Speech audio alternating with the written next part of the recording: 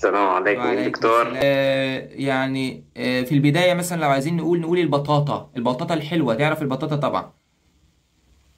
أيوه طبعا. آه آه البطاطا ال- يعني أنت مثلا لو أنت بتروح الجيم أو بتلعب رياضة أو كده تلاقي دايما الرياضيين بي بي بيستخدموا يعني دائما تلاقيهم بياكلوا بطاطا. يعني سواء يروحوا البيت ياكلوا بطاطا. ليه البطاطا؟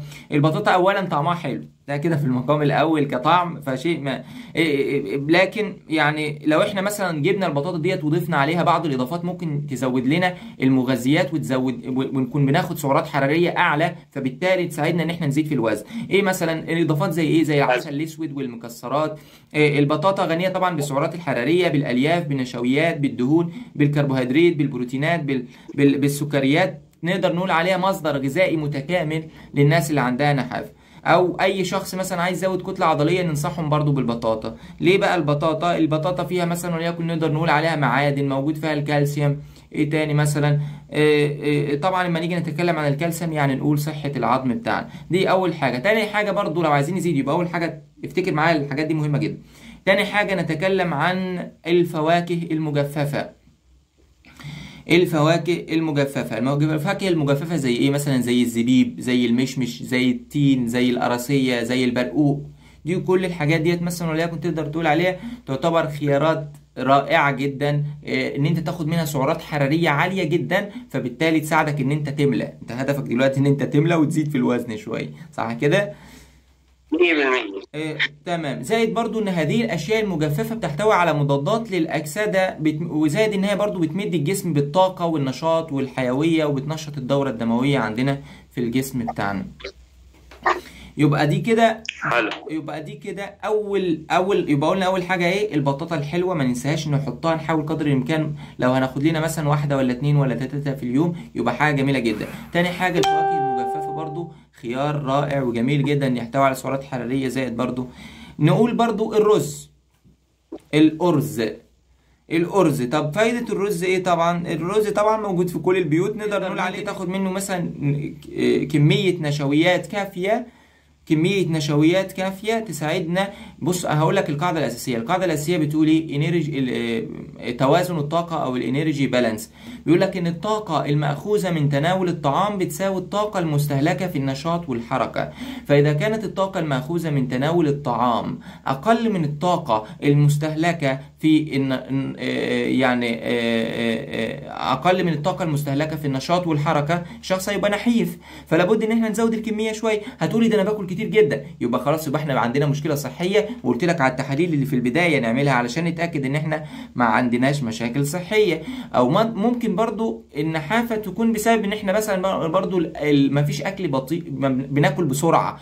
الأكل بتاعنا غير مهضوم كنتيجة للأكل السريع و- و- والسرعة وإحنا بناكل وكده. فالأكل البطيء والمضغ البطيء بحيث إن إحنا برضو نستفيد من الأكل بتاعنا. يبقى إحنا قلنا الرز برضو. لو إحنا آه، خدنا بس يوميا ما يعادل ست معالق رز بجانب ال- الغداء بتاعنا ست معالق رز بس بجانب الغداء بتاعنا هتلاقي الموضوع بيفرق معاك في في في زيادة الوزن. يبقى ست معالق رز بس أنا بقول قول سبع معالق. سبع معالق رز آه، من المعلقة الطبيعية بتاعتنا. آه، تحطوهم مع يوميا مثلا مع وجبة الغداء بتاعك. بس قلنا ما لم يكن هناك خلل مرضي واحفظ الكلمة ديت علشان ما تقولش ده الدكتور أحمد قال لي. تمام. لو أنت ما عندكش مشكلة تلقائيا هتزيد وهتدعي لي. عندك مشكلة صحية يبقى إحنا لابد إن إحنا نعالج المشكلة الصحية في البداية قبل ما ما ما, ما, نتكلم في أي حاجة. برضو آه، قلنا الرز قلنا ال- الفواكه المجففة قلنا ال- البطاطا الحلوة. البطاطا الحمراء اللي قصدك فيها الحلوة ولا آه، العادية؟ الحلوة البطاطا الحلوة. يعني الحمراء. امم آه الحمراء الحمراء. امم جبنة جميع أنواع الجبن طبعا مفيدة جدا إن إحنا بناخد كمصدر للمنتجات الألبان مثلا نقول الجبنة. الجبنة برضو تفرق معاك في زيادة الوزن. فأنت لو حطيتها ضمن النظام الغذائي برضو آه، لأنها بتحتوي على سعرات حرارية وبتحتوي على دهون فبالتالي هت- هتساعدنا إن إحنا أيضا نزيد في الوزن عندنا. ممكن الحلبة. الحلبة طبعا من المعروف إن من ضمن فواتح الشهية الأساسية من المعروف إن من ضمن فواتح الشهية الأساسية الحلبة. ف... و... و... فأنت ممكن مثلا وليكن تشرب كمشروب الحلبة مرتين ثلاث مرات أربع مرات يوميا تقدر. يعني إحنا لو قدرنا ناخد كوب من شاي الحلبة المغلي كوب من شاي الحلبة المغلي مع إضافة مثلا معلقة صغيرة من من من عسل أسود أفضل من كبسولات فواتح الشهية. زبدة الفول السوداني. زبدة الفول السوداني نقدر نقول عليها إن برضو حاجة جبارة جدا بتحتوي على سعرات حرارية عالية وبتخلينا أيضا تساعدنا إن إحنا نزيد في الوزن. إيه لو إحنا مثلا عشان نزيد الوزن نحرص إن إحنا ناخد مثلا ملعقة من زبدة الفول السوداني كل ساعتين خلال اليوم. لو قدرت إن أنت تاخد معلقة من زبدة الفول السوداني كل ساعتين من خلال اليوم آخر الأسبوع هتبقى أدخن رجل في العالم. آه. امم تمام؟ أوكي إيه. قداي لازم كم مرة لازم ناخدها كل زبدة ساعتين الفول السوداني. ملعقة من زبدة الفول السوداني. كل ساعتين هناخد ملعقة من زبدة الفول السوداني. كل ساعتين هناخد ملعقة من كل شرفنا عراسي والله. شرفنا دكتور. الله. ربنا يكرمك يا أم الف إيه اتفضل فيك. إيه إيه يبقى إحنا كده ممكن برضو تقول المانجا. المانجا لو إحنا مثلا لو خدنا المانجا بين الوجبات تأكد إن أنت سيزيد وزنك بلا يعني بشكل سريع جدا. ربنا يبارك فيك يا أم الفراعنة. أنت في حياتي والله العظيم. إيه، يبقى قلنا ال- المانجا المانجا لو قدرنا إن إحنا ناخدها مثلا عندنا ثلاث وجبات رئيسية. عندنا ثلاث وجبات رئيسية. بعد ثلاث ساعات من وجبة الفطار ممكن تاخد لك إيه، تشرب لك عصير مانجا. كو- كوب كبير كده من عصير المانجا.